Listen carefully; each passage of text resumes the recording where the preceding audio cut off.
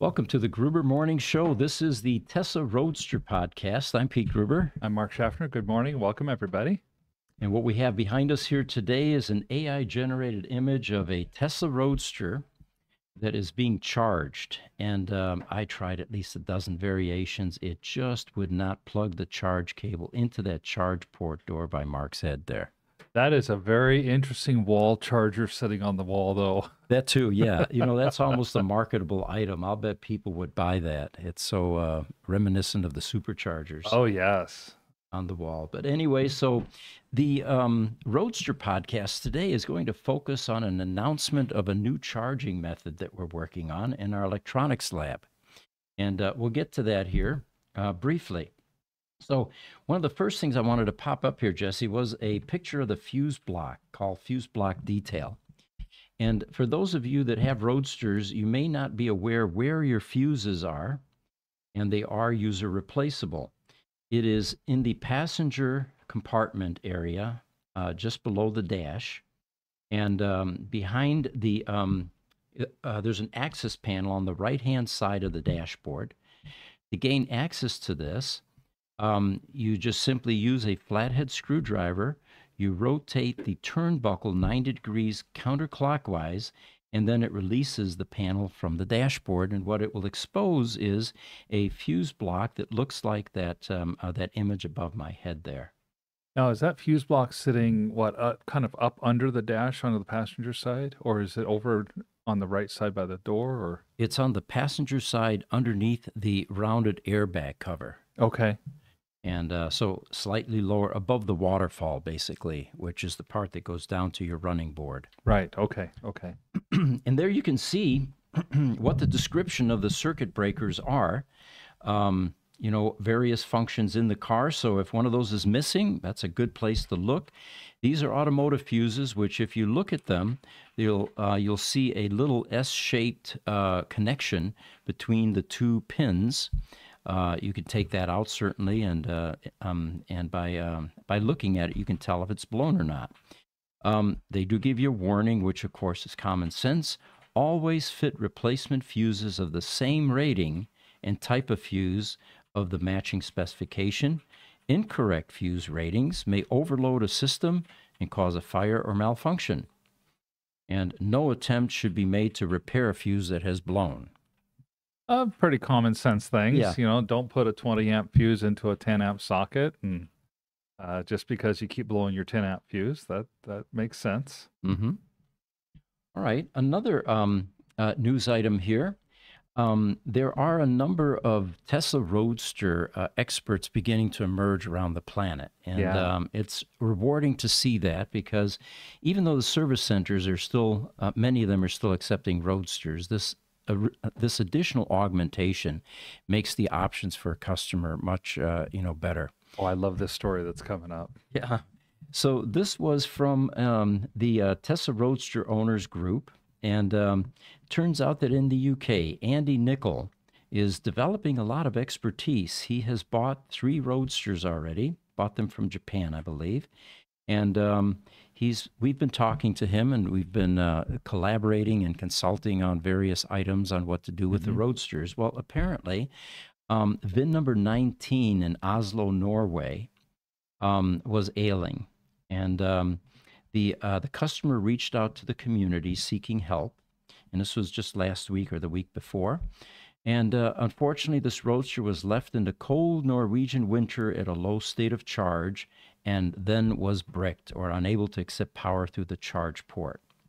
So uh, it turns out Andy flew to Norway, and um, after the service center attempted a repair, they changed a 12 volt battery, and then it was declared hopeless. Because remember, the service centers are not equipped to go inside the battery pack right. and do repairs. Their their most uh, effective option is a in this case, a $50,000 battery replacement because in the US it's 40,000 plus tax, but with shipping and, you know, customs, that's going to increase the cost. So anyway, Andy stepped up to the plate. He flew over uh, Easter break to assist. And um, anyway, the customer was uh, impressed by this. And then Andy reached out to us. Um, he had begun a recovery process, which of course is what we call a level one recovery, where you trickle charge the battery up to a certain voltage level. And the voltage that he saw, which is called in the critical power world the string voltage, which is now Yes. being adopted here for the uh, in the um, um, in the roadster world or in the EV world, was around 210 volts DC, which is a easily recover um, a easily recoverable battery pack. It's when you get down into the under 100. We had one just recently we did that was 37 volts. Right. And that's a bit tougher to bring back to the 400 volts that it's supposed to be. Or you may have some damage in the bricks, uh, which are in the sheets. So he ended up uh, beginning a uh, trickle charge, and uh, he was able to get just overnight the um, uh, the voltage up to 350 volts DC. And this was with a uh, 400 volt charger. Now, we recommend that you keep the milliamps low. This particular charger that he used is good for 400 milliamps, which is just under a half an amp. hmm But 300 milliamps is a safe um, charge method to use for a level one recovery. And at 330 volts, the car will actually wake up, which means if you leave the service plug in, which of course you shouldn't, you should take all the drain off the battery, Right. the car will suddenly start chirping at around 330 volts and saying, Hey, I'm waking up here, but there's something wrong. Uh, you know, the Yeah. voltage is too low. Help. I need something, you know, and I need a charge port uh, uh, uh, type charge. So at 350 volts, it turns out that uh, the car still would not accept a charge from the charge port door, which indicates another problem in the car. So the first thing we asked for was a log file, and um, this was over um, uh, Easter uh, holiday. By the way, I want to insert something else here. Gruber Motor Company is available to the Roadster owners 24 7. It doesn't matter whether it's a holiday, if it's the middle of the night, you text us, you email us, and uh, someone will eventually respond to you. We feel that these roadsters are very important, and Yes. uh, especially when you have a crisis like this, where uh, you know hours or days could make a critical difference between saving a roadster or having it expire into permanent brickness. Well, and considering what was happening on this roadster, um, having a response within a few hours could have meant the difference between the roadster being uh, a roadster and being a pile of ash on the floor. All right. Okay. Which is where we're headed with this. It turns out the log file disclosed that there was the lowest brick reading was 0.71 volts, which is dangerously low because anything under 2 volts begins a uh, destructive chemical process in the 18650 lithium ion cells. And of course, in a brick, they all look the same. So if you have 0.71 volts in a brick, that means you've got 69 cells at that voltage level. Right. The highest one, though, was of great concern. It read 4.99 volts. It was sheet number five. And, um, you know, at 4.2 volts is the maximum level for the 18650 cell. You get too much beyond that, and now you have a fire risk. Right. So we suspected there was something else wrong, but we we advised um, uh, we advised Andy at that point take the charge off and uh, start draining the car. And what Andy then did was, it turns out the Tesla Service Center had pulled the BMB um, cards or the boards. Okay. Well, one of those being reseated is what brought the car back to normal. And at that point, he was then able to do a charge.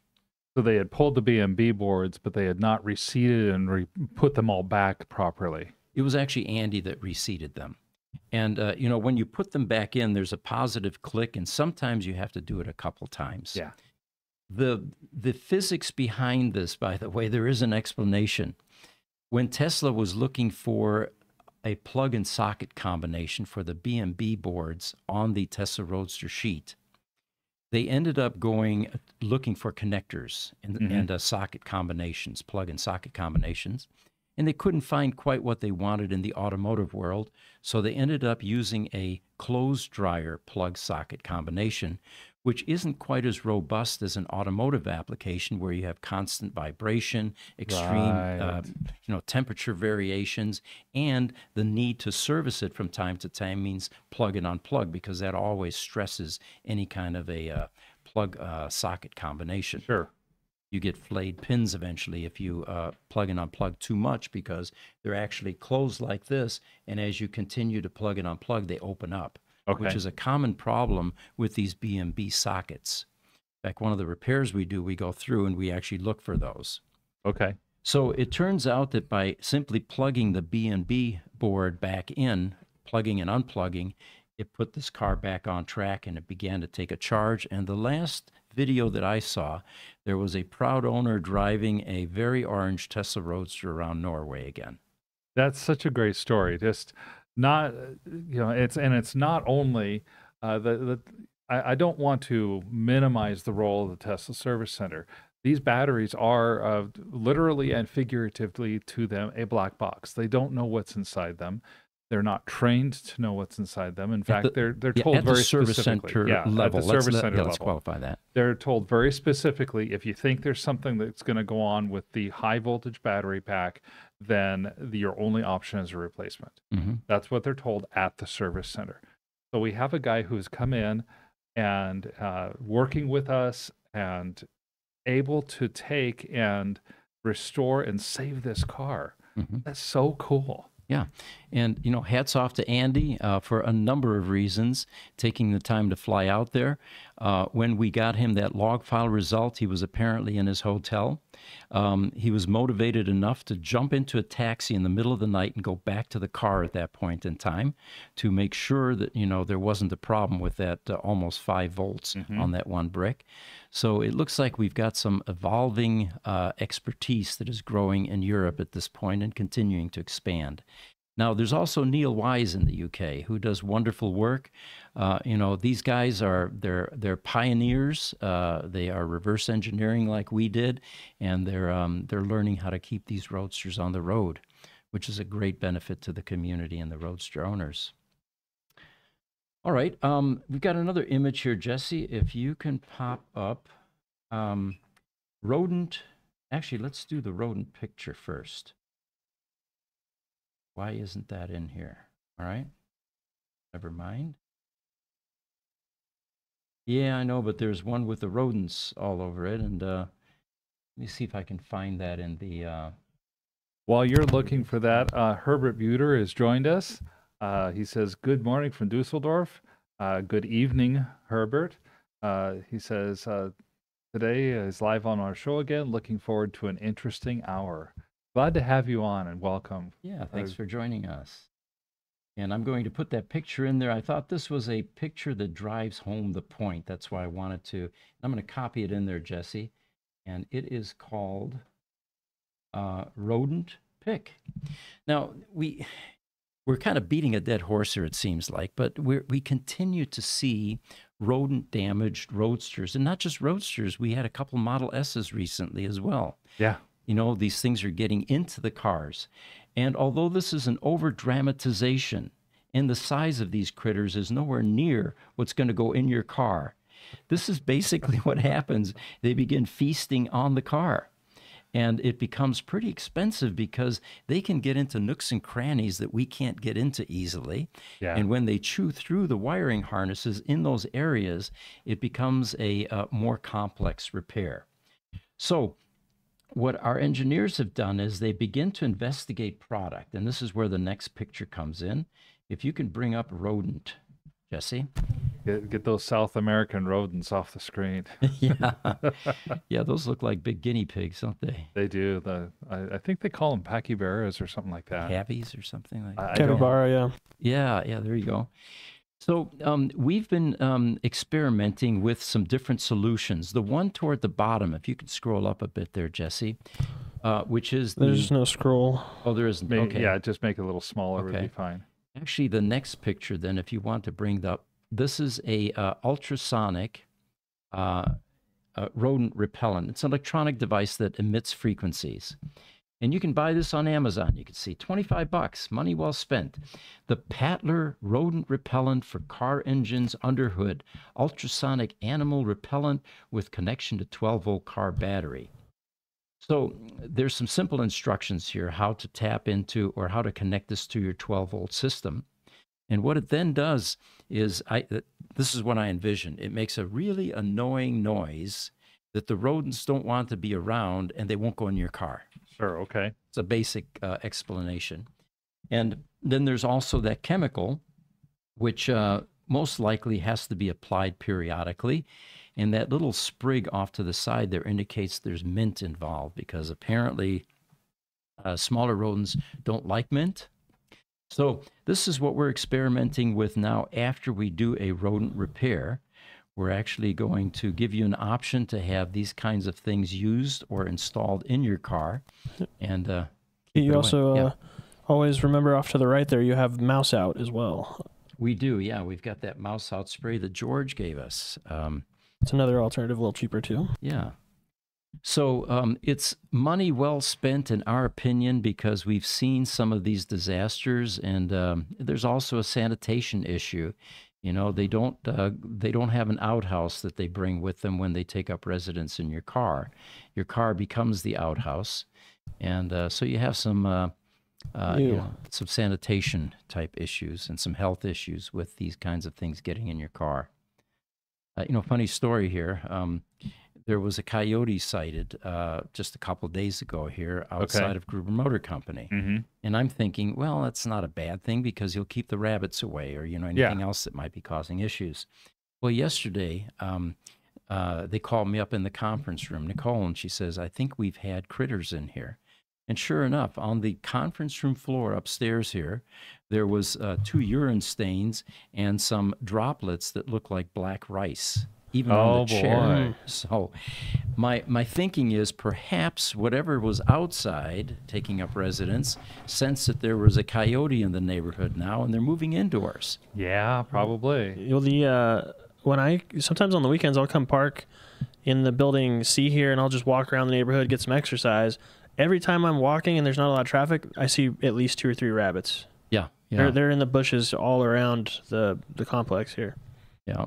What we need is a barn cat, hmm or the coyote hangs around for a while. Yeah, you know we've had we've had cats in the compound before too. Um, when I first came to work here about ten years ago, there was a, a resident cat and had been here for a few years, and Yeah. uh, and he he lived underneath one of the sea containers, if I recall correctly. Well, he or she is still here, by the way, but that particular uh, uh, mouse uh, fixer is not going down to Gruber Motor Company, which is about what 500 feet away or Yeah, I so. probably wouldn't do that. So yeah, we need a different uh, solution there. So for those of you that have roadsters, it is becoming a problem, or maybe always has been, and people just hadn't noticed. But eventually, they will kill your car. It will get in. They will chew on the wiring harnesses, which is going to disable different functions in the car. All right, let's see what else we have here. So, for those of you interested in buying it, we're trying out this $25 item from uh, uh, from Amazon. There's a Tesla Roadster that is on its second go around, or was on Bring a Trailer, and uh, it is um, VIN number 848. Um, it is a 2010 Tesla Roadster Sport 2.25, modified a bit because it was one of the last ones. Mhm. It was converted. Um, the first time it sold for $69,500, which is way low for a functioning roadster, but you know, what, what are you going to do? The auctions don't do a great job of getting the valuation up there or the prices up. But for some reason, the buyer uh, did not take possession of the car. It was then offered on a website for $75,000. No one pulled the trigger on that. It went back to bring a trailer, actually and uh, it just sold uh, yesterday or 331 for $71,000. So we got another $1,500 out of it this time. But um, again, That's still really low. it is, and uh, it it looks like a nice car. The CAC was a bit low; it was 119. Um, charges to 143, 145 in standard mode, but again, a uh, intact, fully functioning Radiant Red Roadster that uh, finally sold. So let's see if this buyer comes through. Yeah.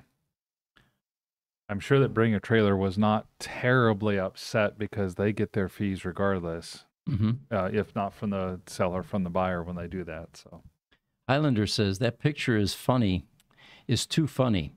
Uh, too many rats. Yeah, I Yeah. can't describe the number of factory electrical panels I've been in direct, in the direct, and got there first. Um, yeah, it used to be when I did tower work up on mountaintops um, back east, where you know uh, it gets Yeah. very cold. These um, these uh, transmitter shacks generally are not environmentally controlled, but there's enough heat being generated in those from vacuum tubes back then Okay. that it would warm it up somewhat, and all the critters in the countryside would seek out that warm area and then take up residence in these high voltage transmitter cabinets. And every once in a while, when we got called out and a transmitter was down, it wasn't uncommon to see a mouse strung between the B plus plates inside the transmitter Oh, cage, man. completely fried. You know, Oh yes. like in those cartoons where you've got nothing but charcoal in the shape of a mouse. Oof. Um, Highlander says all good factories have a factory cat that keeps down the mice. You keep down the mice, you keep down the rats. Oh, interesting. Okay. That's interesting, and I, I I would totally agree with that. Yep. We've got a customer in Canada that has a Roadster, and uh, it is actually VIN number. Let me see if I have that here. Uh, it's very low. Um, VIN number 26, I think it is. Yeah, I don't have it in this list here. Um, but anyway, um, there was a switch. It's at a service center, Tesla Service Center up in Canada, and uh, it looked like the switch pack was having a problem. Mm-hmm. What was remarkable was Tesla was actually able to find a switch pack, a 1.5 switch pack. Wow. They said it's the last one in their inventory system, and they got it all the way from Belgium. So it got shipped up here to Canada. okay. And uh, unfortunately, it turns out that the uh, switch pack was not the cause of the problem. It solved some other problems, but not all of them. So it still has a 420 error at this point, which is now pointing at the APS unit inside the ESS battery pack. What that is, is inside the 1,000 pound battery pack, you have a DC to DC converter, which takes the 400 volt DC from the main battery pack and converts it to low voltage 12 volts for all of your locks, uh, you know, audio equipment, uh, Mm-hmm. uh, headlights, any of the illuminating devices, the VMS module, anything that runs off 12 volts. Well, they're thinking that the problem is in this uh, APS unit. And because it's such a low VIN, this is one of the older Martech APS units. Tesla had vendors, two vendors for this DC to DC converter. The first one was Martech, which um, wasn't a great design. It has a lot of potting compound, and in order to repair it, these things weren't really uh, built originally to be repaired. Right. What we end up having to do is an archaeological dig, literally digging down through the potting compound to get at the MOSFETs, the caps, the transformers, or whatever is buried underneath all that. The later version was a Delta uh, version, which is much more serviceable. It didn't have all that potting compound. Well, this Okay. has the older Martech. And um, the way that Tesla is going to handle this repair, since they don't go inside the battery pack, pull anything out, and then do a repair, they're going to have to ship the whole battery pack back to Lathrop, California, which is the Reman Center, where they build all of the um, uh, the Tesla 3.0 replacement battery packs. So um, anyway, this one is is going to continue to um, uh, be out of play. Unfortunately, the uh, where he lives, this is driving season, or he's going into driving season, and of course, it's another six months or so until he's going to get his car back. Oh, that's so sad because he's Yeah. gonna get it back, and it's gonna be fall time. The driving season's gonna be just about over. And then it becomes garage furniture again. Yes. Yeah. But um, the good news is is that Tesla is diagnosing. Um, they are sending um, experts out to these service centers, and uh, they are able to uh, diagnose and eventually repair these cars. That's good. Um, Herbert Booter says he's going to meet up with Rafael de Mestre at Hilden, South Carolina Park, planned on the 20th of April. Okay. A roadster meeting organized by Roland Schüren. According to Life Tracker, Rafael is in Aktobe, Kazakhstan just now. So he's he's in his roadster traveling again. Yes. Well, it's going to be a lot of fun, Herbert. Um, while you're in the U.S., if you can head out west, we'd love to have you take a tour of our Phoenix, Arizona Gruber Motor Company facility. And uh, I'm going to be in Europe the uh, 25th and 24th, 5th, and 6th of May at the uh, Tesla Takeover in uh, Flachau, Austria, outside of Salzburg. So if you're planning on going to that, well, I'll get to meet you in person. By the way, we should probably give that uh, uh, that event a, a, uh, plug at this point. Um, this is the first European Tesla takeover, Mhm. and uh, they've done three of them in the U.S. They were highly successful, so much so that the Europeans decided we want to do this too. So a number of Tesla clubs from all over Europe are going to be there. They say that a thousand cars, Tesla cars, are going to be there, which of course means even more, uh, you know, attendees because oftentimes there's more than one person in the car. Oh yes.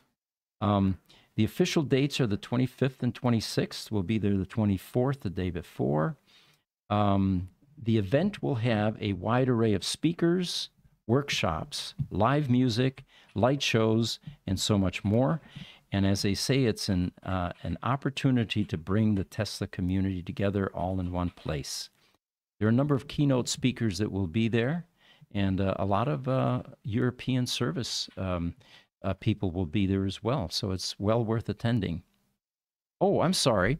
Herbert Booter says Hilden SC Supercharger. Okay, I thought you were talking about South Carolina. in Düsseldorf, near Düsseldorf. Okay, so it's it's still in Germany, and um, yeah, so that may be an event going to. Um, and what were the dates, Jesse? If you can bring that down, I'll uh, I'll uh, read that again.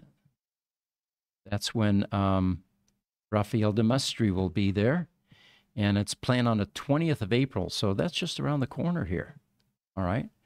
So it's not going to take him too long to get out of Kazakhstan and head over to Germany. It sounds like. Oh, it's, I was just looking at the map, and it looks like he's uh, more than halfway across the Asian continent toward Europe. So it looks like he's doing well on his trip. He's such a pioneer when it comes to uh, traveling, especially with a Roadster. Yes, yes. Uh, I, I. Uh, it's remarkable what all that he does, and the, the, um, I mean, the Roadster is not the most comfortable trip car. It's not, no. Yeah, he is a true pioneer. Um, again, promoting alternative energy use, and uh, he even plants trees when he goes to some of these places. So Mhm. he's uh, having spent some time with them. He is an inspiration. Um, all right, so Herbert Booter, we've got that. Highlander, will Rafael be in Michigan? Michigan on the June 15th. It's a huge test level event. I don't think Rafael is scheduled to come back to the U.S. for some time. Uh, but anyway, if that changes, we'll certainly report it on this podcast. Yeah. So, getting now to the primary theme of this podcast, and I'm going to take you through some history here.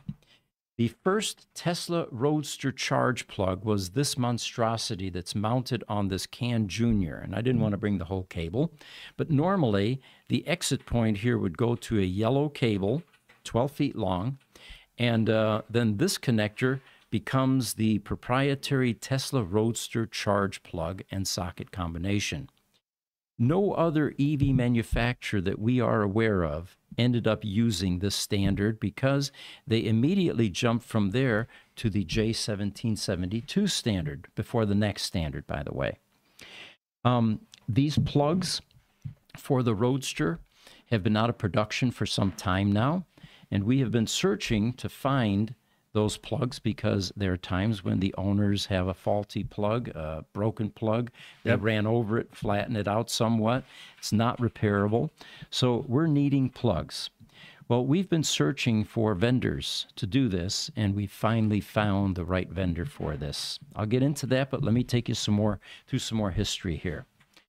So by the time J1772 came out, the Roadsters were already out in the wild, and Tesla was not going to adopt a different charge standard, have half the cars be the proprietary plug here, and the other ones be a J1772. So they continued with this for the Roadster until completion. They also developed some wall chargers, or had commission companies to develop Mhm. them. The Suntron wall charger, for example, it's a large thing, larger than the Clipper Creek, that works fine with a 1.5, but has problems with the 2.0 roadsters. A ground imbalance often causes problems. So Tesla then commissioned Clipper Creek to develop a TS70 charger, which is a 70 amp charger. I've got pictures of this, Jesse. If you want to bring up um, charging options. That will put a visual to some of these things that we're describing right now. And these became the preferred charging methods for the Tesla Roadster. The one on the left is the Clipper Creek TS70. Good for 70 amps. You can get a full charge within under four hours on a Tesla Roadster with this charger. Pretty impressive. It requires a 100 amp service in your home. Um, you could squeak by with 80, but we recommend 100 amps to feed this beast. And they are virtually indestructible. When they do break, we repair them. People ship them to us, and uh, they are definitely a um, a bulletproof type charger. The one in the middle is the MC240. That's a 240 volt charger. Again, also has this plug on the end for the Tesla Roadster. None of these, by the way, will charge your um, Model X, Model S, Model Y, or any of the NACS uh, charging systems. And then finally, we have the yellow charge cable to the right, which is the MC120. We ended up, um, uh, let's see here. So, yeah, so we started to investigate finding these plugs, and we now have a vendor that is capable of reproducing these. And it's the original vendor that was making them, so we think that their product is going to be right on target. That will now allow us to repair any of these three or even four chargers, including the Suntron, if the connector is broken, the proprietary Tesla charge plug. And the way you break those is you drive over them and they don't like that. They typically won't uh, bounce back. But we decided to go a step further we decided, you know, the um, Tesla Roadster has been using the um, socket. In fact, I have some behind me here. Let me see if I can grab those without getting my headset on. Yeah, while uh, while Pete's grabbing that, Squeaky Clean Air is asking, um, is there an Instagram for the uh, Tesla Takeover Europe? Yeah, I put those uh, links on Instagram for him. Okay, You thank you. Thank you. Yeah, I found a couple of. Uh, there's an Instagram. It's the Tesla Club Austria, and then I put the uh, website as well. And then TeslaTakeover.eu is a website that you can go to. So what I brought up here was a um, pigtail cable out of a 2.0 Roadster. This is the portion right here that you normally see that is visible when you open your charge port door, and then you take your Tesla Roadster plug and you plug that into this Uh, it's section. behind here. your mic. There we go. All right. Bear with me here. There we go. All right. So you plug that in and then you start charging. And in this case, we've got a CAN Senior, which means that you now have a NACS adapter that will allow you to charge your Okay. Roadster. Hold on. So you're, you're holding it right behind your mic. See the TV screen? Oh, there we go. All right. There you go. There we go. I got to look at my image out there more often, it looks like. Yeah. So the uh, this is a CAN Senior, which essentially allows you now to use a NACS connector on a Roadster. Well, we thought about this for a bit. Yeah, you can get, uh, you know, Henry Sharp makes these, and uh, he's got the CAN Senior and the CAN Junior. The Junior is the J1772 to Roadster. Senior is the SR or the uh, NACS to the uh, to the Roadster socket. It occurred to us, why not change this socket to a NACS socket? it doesn't look like it's going to be that hard because what you have is a socket, a mounting flange, and a pigtail cable that connects to the AC connection and the pilot signal. So, what we're going to be doing with these two cables, and the reason I say two, there's a difference between the 1.5 Roadster pigtail, charge pigtail, and the uh, 2.0. This is the 2.0. This is the 1.5. The 1.5 has the same socket, same sort of an exit behind the charge port door, but it has a large plug that goes into the PEM. And that's what then um, uh, creates the AC input to the Roadster Power Electronics module. So, what we're doing now is we're going to ship these off to New York. They are going to go to the original vendor that made the pigtails, and they're going to recreate these pigtails with a NACS socket on it. So, and what we're now going to be able to offer is when your Roadster comes in for repair or service or upgrade, one of the options is going to be do you want to convert it to the next standard? You will immediately um, eliminate the CAN Junior and CAN Senior. It won't be necessary anymore. And um, you'll be able to charge directly from any next destination charger. Now, it's not going to charge from a supercharger. The supercharger is a DC input, high voltage DC input, and the Roadsters do not accommodate that. All they can handle is AC input. So stay tuned. We'll be reporting the progress that we're making. These are going off to be reverse engineered uh, by the company that originally made them. And uh, we're going to uh, figure out what it's going to take to put a NAC socket on the end here and then develop a kit that can be installed in your Tesla Roadster to give you NACS capability. Now, what happens for the people who have some of these uh, higher valued roadsters where they'd like to keep the original parts? Good question. Let's get this out of here. So that was one of the first questions that we asked as well. These cars are going collectible. In the world of car collecting, it's about originality. How do you reconcile a modification like this? Well, depends on how long you're going to keep your Roadster. If it's garage furniture, it's collectible, you never drive it, leave it as is. Okay. If, however, you enjoy driving your Roadster and you're going to do that a few more years and you're tired of the hassle of taking adapters with you and trying to find, uh, you know, charge standards and all that, then have it changed. We'll put the old pigtail cable in the trunk for you. And at any point in time you want to change it back because you're about to sell the car as a collector car, it goes back to original. That makes total sense. And then uh, you can go get the low, you know, the the Amazon sixty dollar NACS to J seventeen seventy two adapter. Uh, you know, they hold it in your hand, and then you can go to virtually any charger that any other electric car could go to. Then Exactly. that's a yes. great idea. So stay tuned because this is um, this is coming fairly soon. Uh, we will have it out on our e-store. Um, and uh, so we're not only getting a price on the replacement plugs, and those of you that want to do your own cable repairs, these plugs will be out on our e-store as well. So you can buy those there and do your own fix. Um, all right. Looks like we've covered that fairly well. Any questions? We're good? I think we're good and caught up on questions at this point. Okay. All right. Um, here's another interesting image that we can pop up, guys. It is the um, VIN 689 3. Um, we've been talking to Tesla corporate quite a bit about their continued support for Tesla, for the Tesla Roadster.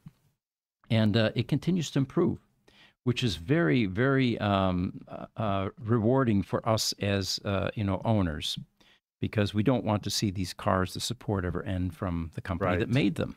Most definitely. What they're beginning to do, they're still doing the buyback program, but they're telling us that some of these cars now, instead of being crushed or completely disassembled, are being emptied of drivetrain, battery, and the um, uh, the drive motor and the PEM, and then putting them on display at the Tesla um, uh, service centers.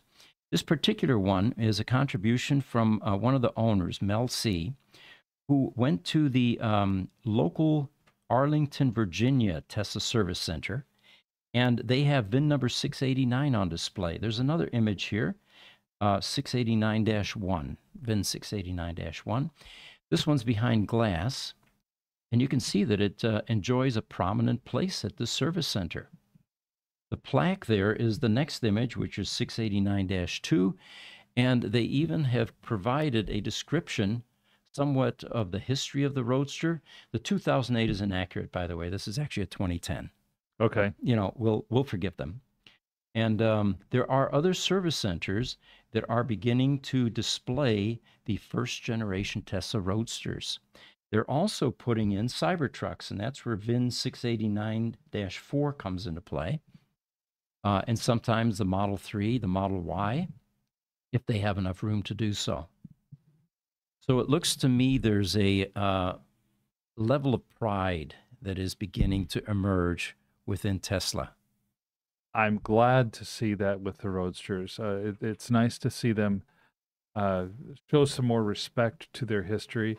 And uh, this particular picture, of course, shows a lot of thumbprints on the uh, on the Cybertruck. The um, this particular roadster, by the way, we first became aware of it. It was in the Owings Mill, um, um, in the Owings Mill, Maryland uh, service center, and it was in the graveyard outside where it sat a few years in the parking lot. So instead of tearing it completely apart, they began to uh, clean it up and then brought it into the service center on display. And some of the comments, by the way, uh, because we're not the only ones that saw Mel post these pictures. By the way, Mel, thank you for doing that. Uh, one of the comments was, a um, he said, I've heard of a few locations refurbishing the shells for display instead of parting them out completely. So this is amazing news.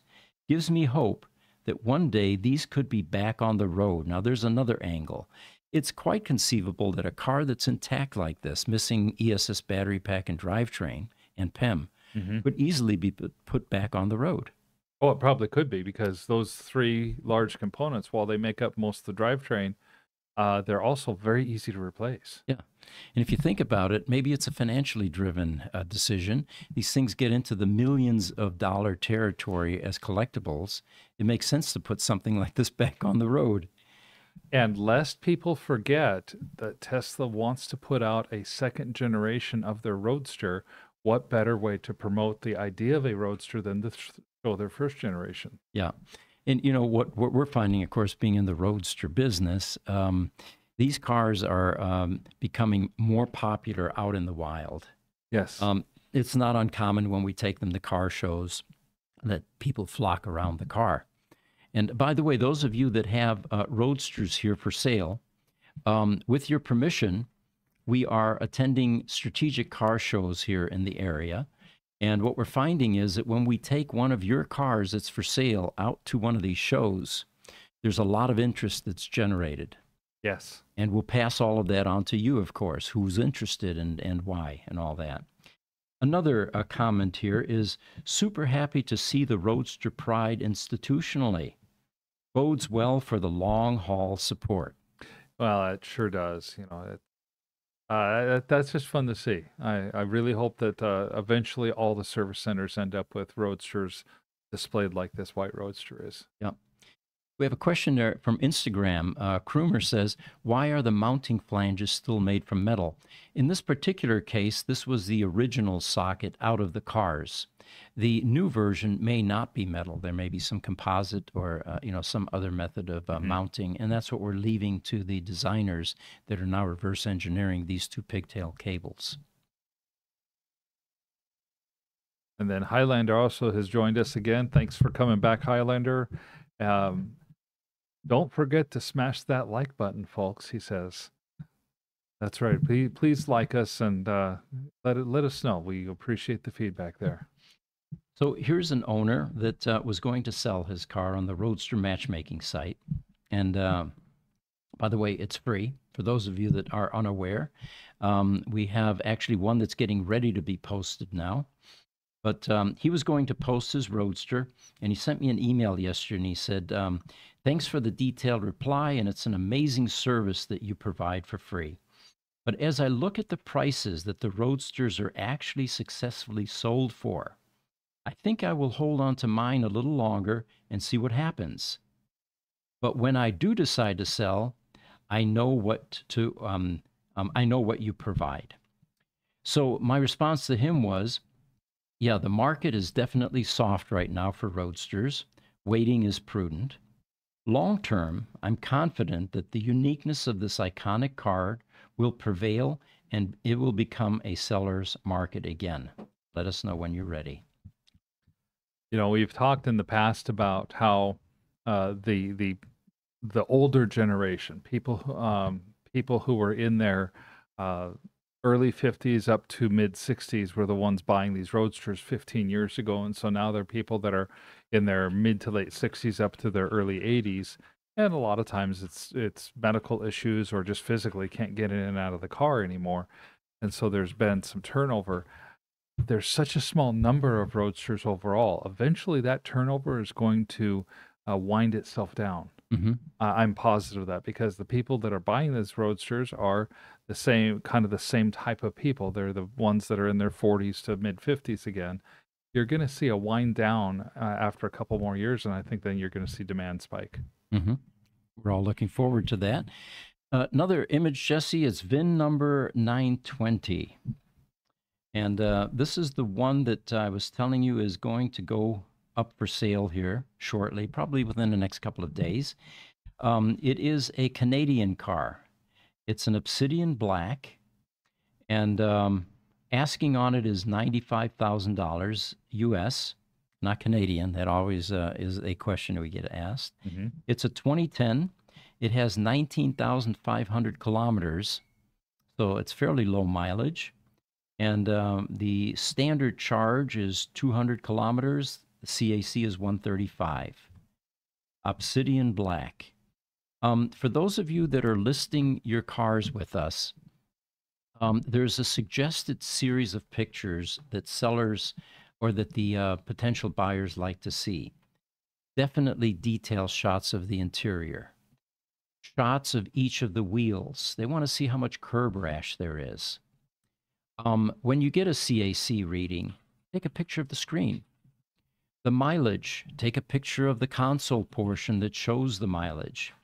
And then any interior shots, including any wear on the car. Don't want that to be a surprise after they purchased it and, uh, you know, the pictures did not reveal that. Yes. So you want to give full disclosure. Um, we're going to do a newsletter eventually that gives people an idea of what and what the image inventory should be when you're selling a roadster. Um, if you're if you're um, not sure, go to the roadster matchmaking site and just see what kind of images have been posted on some of the ones that have sold, and it'll give you an idea how to uh, get the best presentation for your car. Now on TikTok, we have a question in from North Maze, uh, who asks, "How many kilowatts can the Roadster charge, and how much kilowatt hour capacity does the battery have?" So I'm thinking the kilowatts is how how fast. Yeah. Well, the um, uh, the charge input rate is uh, anything from 70 amps for the Clipper Creek charger down to 15 amps for the yellow charge cable. The capacity of a legacy Roadster battery pack NKWH is 53. For the replacement 3.0 packs, it's actually 80 kWh. And the difference is the original Roadsters could go maybe 180, 190 miles range in standard mode charge, and that means 80% or so, because you don't want to charge them uh, to um, uh, to range mode very often. With the new battery packs, and that's a good question. Somebody just asked that one of our customers, what can I expect once I get my 3.0 battery pack?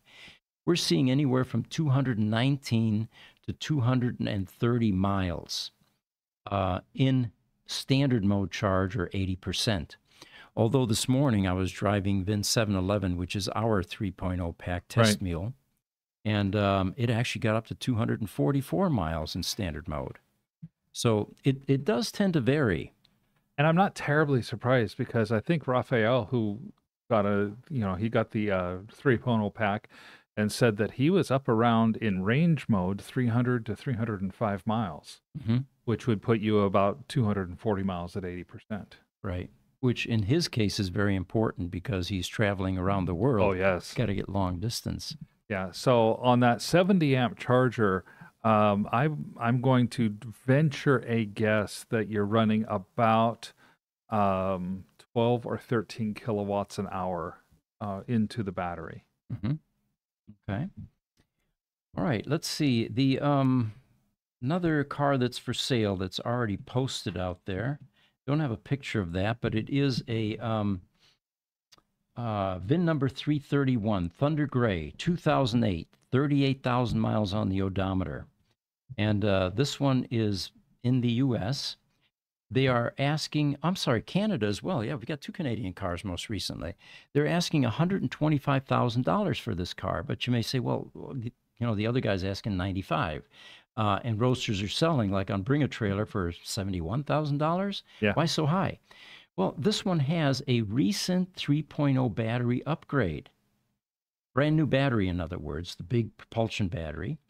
And um, so if you subtract what they paid for that, which is $45,000, you've got an $80,000 Roadster that uh, with a fresh battery, future proof basically, and you don't have the wait time to get the new battery. Yeah, there's definitely value in that. And that $80,000 in that case, uh, it's right where the market's at right now. Mm-hmm. All right. Um, let's see. Can we bring up a picture called Automotive Woman? You know, there are a couple of, well, actually, a number of notable females in the EV space. We've got Kim Java, we've got Mhm. Supercar Blondie, Mhm. and we have Automotive women. This is uh, Juliana uh, Chiovitti, and uh, she has a YouTube channel called Automotive Women. Um, she did a video or a podcast with me, and what we were talking about was the the GMC battery bunker. Why do we have it? Is it underground? Why is it a bunker? What's its purpose? And uh, it's an informative video that you might want to um, uh, review. Um, it is out on her YouTube channel under Automotive Woman. And um, what we talk about is the reasons for a battery bunker for an EV shop. There are a number of reasons. Whenever you take any battery element out of a propulsion battery pack, you have removed it from its safe environment, the, uh, the, um, uh, the battery safety monitoring systems. And when you start to repair it, you're going to need to do certain functions like charge it out of the car. The car has some very complicated algorithms that track safety. They don't want vehicle fires, basically. Right. When you take that out of that element, you have now introduced a, an additional element of risk. And we decided that we're going to build a battery bunker and isolate and separate any battery activity in a separate building. It's a 40 uh, foot steel sea container, completely lined with drywall and uh, heat and temperature sensors, charging systems. And should any kind of mishap occur, it will be confined to that battery bunker and uh, not affect the um, uh, the main operations, all the cars that are in there for service and the tooling and uh, you know all the rest. Well, and if if something really happens bad to that battery bunker, I mean, just close it up. Um, hmm it- Yeah. It'll glow cherry red, and the fire department will cool it and quench it eventually. And uh, but it's not going to to destroy cars or um, a property. exactly.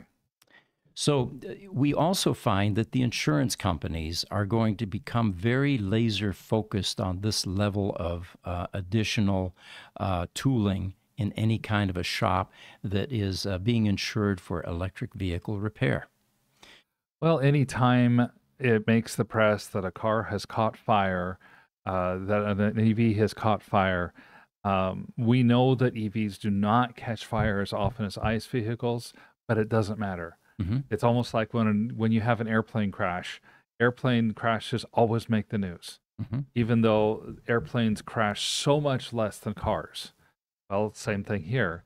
And every Chevy Bolt that has caught fire or every other uh, every other vehicle that's ever had a, a fire that's electric um, causes the insurance companies to get skittish. This helps to mitigate that skittishness. We say, hey, we're taking anything that might have a, an, an element of risk and we're putting it aside so that if that bad risk happens, we've already taken steps to help mitigate the losses. And Gruber Motor Company actually has been a leader in a number of fields, as have all of our other companies. We Mhm. enjoy that position. And uh, it's one of the reasons we have social media is because we document a lot of these developments that we're involved in. But the auto shop of the future is aptly named because eventually the insurance companies are going to uh, realize that they have elevated risks with EV shops. They're going to require something like this, and the premiums will be affected without it. Yes, definitely. All right. Um, we talk about open vehicle management system often for the Tesla Roadster, and the reason is it is a um, great way to keep tabs on your Roadster when you're out of town on vacation, um, and you're um, you're not sure how well the, the vehicle is being charged or taken care of. Um, it is a vital component, we feel. And um, I realized this morning how vital because they just placed another order for 20 of them. So it looks like we've run out yet again. Um, this is a little black box that essentially sits underneath the passenger compartment by your VMS unit, and it allows you to maintain connection to your vehicle through your cell phone. When you're on vacation, it will tell you if, what the state of charge is, what, if any, error codes are being thrown. hmm And you can then immediately be proactive and take action to have that circuit breaker reset after a thunderstorm or find out why it's not being charged. It's going to prevent brick roadsters. It's going to keep you on top of what's going on, and it's money well spent. So, again, it's one of our recommendations when the cars come in, and uh, we are restocking, and we'll have another 20 here within the next week or so. Well, and as our EV Preserve business uh, gets up and running, where we have the automotive storage, we're going to require any owners of uh, probably not only roadsters but any high-end electric car. We're going to tell them you have to have one of these in place so that we can adequately monitor and you can adequately monitor your car at all times. Yeah, good point. Good point. So I have an interesting story here for you.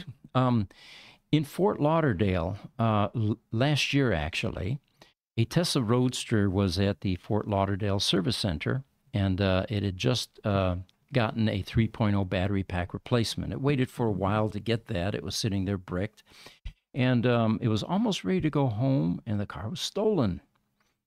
And uh, it turned up a, a couple days later or so. It was at an impound lot. And uh, from there, um, things really began to develop.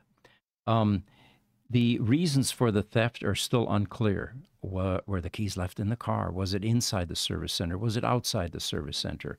Um, how did they gain access? You know? Yeah. And uh, is it bricked? Um, so um, a number of these issues are have not yet come to light, but the car currently um, is still at the service center. Um, the um, uh, the owner has been given some options, and um, at this point, I recommended probably the best option since it appears to be bricked at this point, even with a new battery pack, is see if there's a buyback opportunity for you, because at some point he was uh, even thinking about selling it. So um, at this point, it's still in play. We don't know how it's going to play out. Um, it is VIN 541, and it's at the Fort Lauderdale uh, Service Center. Um, Tesla has been great about uh, getting insurance involved and uh, taking care of any costs like the retrieval of the vehicle, bringing it back to the service center, and um, but it's still not resolved.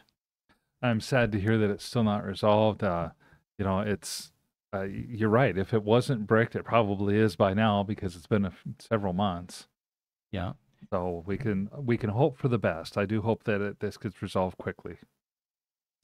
Right. Let's see. Do I have an image of that? No, I was going to show you an image of what we've done with the Tesla Roadsters that are waiting to go back home.